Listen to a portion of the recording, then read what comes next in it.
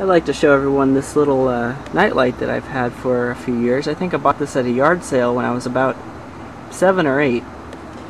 Um, it's a Crayola crayons, and when it gets dark, it automatically turns on. There's a little light sensor right there. If I can do it just right, I can make it strobe.